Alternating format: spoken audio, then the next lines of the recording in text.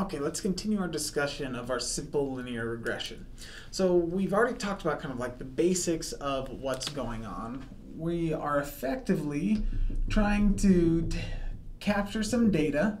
Uh, specifically, we're trying to capture two numerical variables on, um, on a set of data. And we are trying to figure out, um, so x is our predictor variable,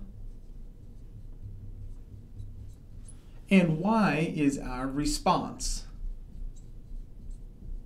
And we're trying to determine if there is a relationship between these two pieces of information about a data point. Uh, ultimately, uh, usually a response is like a piece of information that's hard to measure, and it would be much handier if we could measure something easy and then predict what the response is going to be. So ultimately, we are trying to fit some line.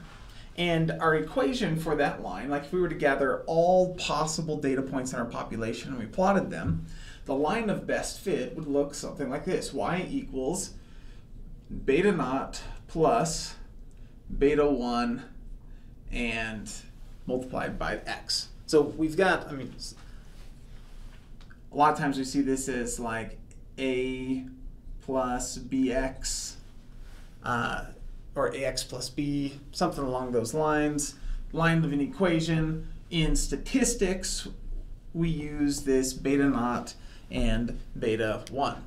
Now when we go and collect data, our sample estimates of this, we're going to have y hat equals b naught plus b1 times x.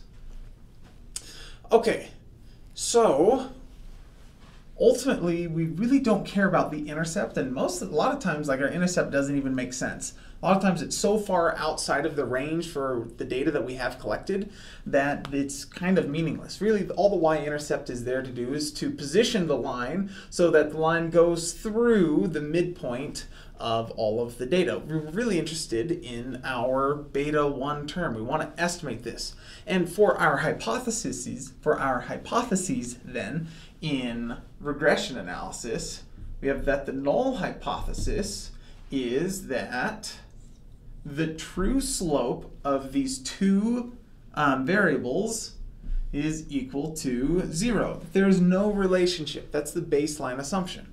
And then the alternative that we can do is beta 1 is either less than, greater than, or not equal to zero. Most of the time we do not equals for these, but you could do the other ones.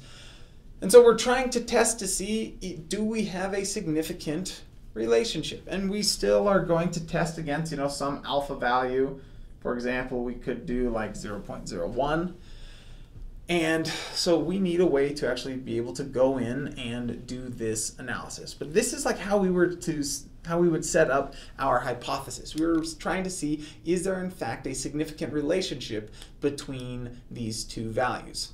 Now we'll talk a little bit about uh, about how sometimes we can have significant relationships, but it doesn't do well at it. The model actually doesn't do a good job of explaining the variance or, or the variability in the model. And uh, we'll talk about that in future videos.